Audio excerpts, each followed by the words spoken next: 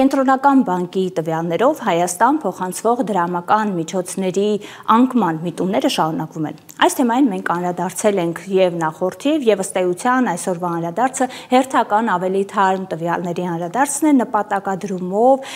եւս մեկ անգամ ընդգծելու եւ փաստորեն արդեն ֆիքսելու, որ իսկապես մենք գործ ունենք այդ անկման միտման տենդենսի հետ, որը կարծես թե շարունակական է եւ բոլոր հարակից գործոնները հաշվի առնելով կարելի է ենթադրել, որ առաջիկայում այդ շարունակական անկումային միտումները կունենա։ Առաջին գրաֆիկը ուրեմն արտացոլում է 2024 թվականի հունվար-մայիս ամիսներին Հայաստանի բանկերի միջոցով արտերկրից Հայաստան փոխանցված դրամական միջոցների վերաբերյալ տվյալներ։ Մասնավորապես 2024 թվականի հունվար-մայիս ամիսին այդ ցուցանիշը կազմել է 2 միլիարդ մոտավորապես 88 միլիոն դոլար, այն դեպքում, երբ նախորդ տարվա նույն ժամանակահատվածի համեմատ ցուցանիշը եղել է 2 միլիարդ 480 միլիոն դոլար։ Այսինքն, նախորդ տարվա նշված ժամանակահատվածի համեմատ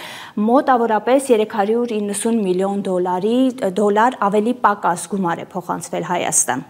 Իդեպ պետք է նշել, որ այդ արտերկրից եկող դրամական միջոցների կառուցվածքում, ի նկատի ունենք կառուցվածքը ըստ երկրների, թե որ երկրներից են փոխանցումները կատարվել, շարունակում է առաջատար մնալ Ռուսաստանի Դաշնությունը եւ հետեւաբար այս անկումային տենդենսները հաշվի առնելով իհարկե իրավունք կա ենթադրելու, պնդելու, որ առավելապես հենց Ռուսաստանի Դաշնությունից Հայաստան փոխանցվող դրամական միջոցների անկման միտումների հետ գործ ունենք։ Անկումային է նաեւ Հայաստանից նշված ժամանակահատվածում բանկերի միջոց միջոցով այլ երկրներ փոխանցված դրամական միջոցների ցուցանիշները, որն արտացոլված է մեր երկրորդ գրաֆիկում։ Մասնավորապես 2024 թվականի հունվար-մայիս ամիսներին ուրեմն Հայաստանից բանկերի միջոցով դրամական փոխանցումների ցուցանիշը կազմել է 1 միլիարդ 639 միլիոն դոլար, այն դեպքում, երբ 2023 թվականի հունվար-մայիս ամիսներին այդ ցուցանիշը 1 միլիարդ 713 միլիոն դոլար է։ Այսինքն, ինչպես տեսնում եք, այստեղ եւս անկումային միտումների հետ գործ ունենք։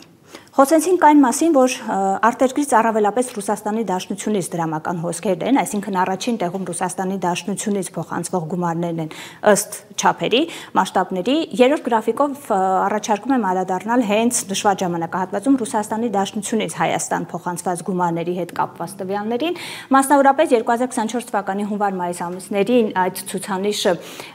ըստ երրորդ գրաֆիկի ես կխնդրեմ ցուցադրեն երրորդ գրաֆիկը մեզ մոտ 2024 թվականի հունվար մայիս ամիսներին ուրեմն Ռուսաստանի Դաշնությունից Հայաստան դրամական փոխանցումները եւս նվազում ցուցադրել են տոկոսային հարաբերակցությամբ այդ նվազումը մոտավորապես 20 շուրջ 19-20%-ի շրջանակներում է եւ թվային ցուցանիշով դա մոտավորապես 460-470 միլիոն դոլարի տարբերություն է։ Ընդհանրապես դրամական հոսքերի եւ դրանց նվազման միտումների մասին խոսելը որևէ կերպ ինքնանպատակ չէ։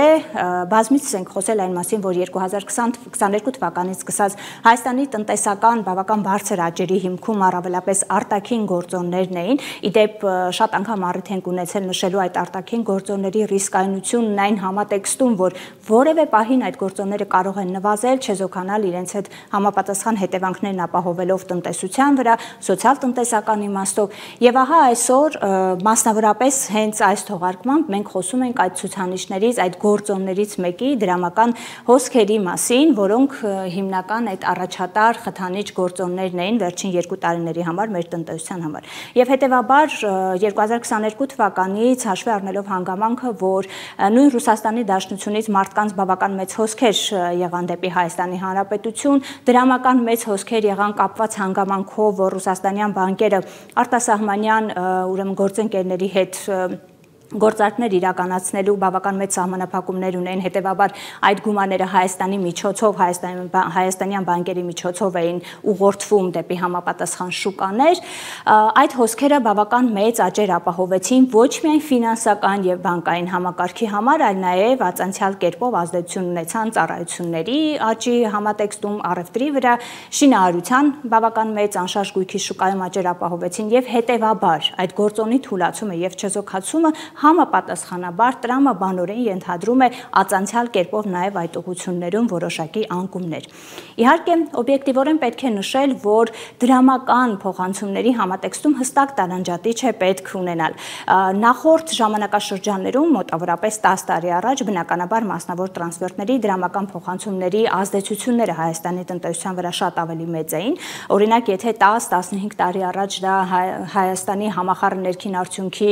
20-25% ներկայացում դեպքեր կար, երբ շուրջ 30%-ի հասնում էին մասնավոր տրանսֆերտների մասին է խոսքը, ապա վերջին ժամանակաշրջանում այդ ցուցանիշը բավական նվազել է եւ շուրջ 10%-ի շրջանակներում է կազմում եւ այստեղ հստակ եւ բովանդակային եւ ազդեցությունների տեսանկյունից տարբերություններ կան, այսինքն համեմատելի չեն ժամանակաշրջանները, բայց մի որոշակի առանձնահատկություն իսկապես կարող է տնտեսության, տնտեսության հետագա աճի հետ կապված խնդրահարույց առնվազն հարցադրումներ առաջացնել։ Մասնավորապես հանգամանքը, որ այդ գործոնը ինչ որ պահից, մասնավորապես 2022 թվականի ռուս-ուկրաինական պատերազմից հետո ըստ էության շատ անկանխատեսելի եւ արագ ի հայտ եկավ, բերելով իր հետ տնտեսական, սոցիալ-տնտեսական դրական էֆեկտներ եւ ըստ էության այսօր չեզոքանում է։ Այսինքն սա օրինաչափ այն մասնավոր տրանսֆերտների հոսքերը չեն, որոնց եթե կոպիտ ձևակերպմամբ մոտենանք, ապա հայաստանյան տնտեսությունը որին ծանոթ էր։ Սա որը մի ուրիշ բովանդակություն ունեցող դրամական հոսքեր են եւ հետեւաբար դրանց ազդեցությունները եւս այլ են։ Ընդհանուր առմամբ, եթե փորձենք բանաձևել եւ ամփոփել, չնայած հանգամանքին, որ վերջին տարիներին համախառն ներքին արդյունքի համատեքստում դրամական փոխանցումների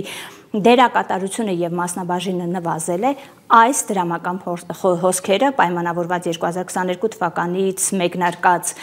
հոսքերը եւ դրանց կրճատումը իրականում կարող են որոշակի թեկուս կարճաժամկետ, բայց շոկային ազդեցություններ ունենալ տնտեսության վրա։ Բայց եթե այս հանգամանքը նաև համատեղում ենք այլ արտաքին գործոնների հետ, օրինակ նույն մարդկային հոսքերի նվազմամբ, ռելոկանտների Հայաստանը լքելու հանգամանքի եւ դրա շուրջ տեղեկատվությունների հետ, այս ամենը համատեղելով հայաստանյան տնտեսության եւ տնտեսական աճի այն վերելքները, որը վերջին երկու տարիների ընթացքում ականատես եղանք, փաստորեն առաջիկայում կարող են պարզապես այլևս չլինել։